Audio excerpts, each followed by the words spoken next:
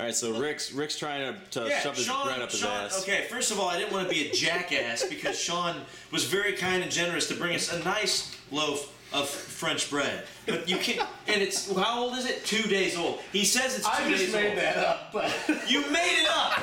You made it up, so you don't even know how old this bread I is. really. Look at this shit. First of all, I'm like, let's try and break I was it. just hoping you'd. It won't even. See? Finally broke something off after much trouble. Dude, you can't eat that. Let me see. No, you can't. There's me not see. even usually Hold there's on. like a soft center. Hold on. You can knock somebody out with that.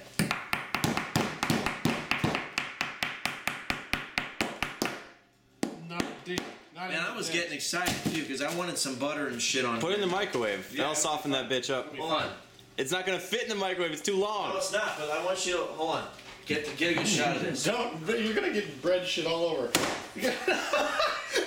Wow. no, that's fine. Wow. You know what? Keep, keep that around. No, stop it. You're gonna break the counter. Am I gonna? Dude, no, seriously, there is not. Look. Okay, you've seen how many times. There is no damage to this bread. Uh, flip it all. over on the backside. Nowhere. Swear to God, you'll break the counter with that thing. Thank- where the fuck did you get this? I don't know. You what do you mean you don't know? Was it in the back of one of those trucks? You guys are trading all over the place. You found it in the Is back. this bread filled with cocaine? Might be. Anyway. Is this a bread drug? too, man? You should eat it. All right. So anyway, uh, that's that's all. Go ahead and eat it, Rick.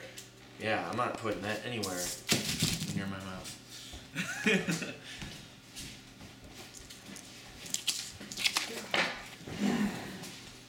It's a person who lives here now. Bilbo Baggins.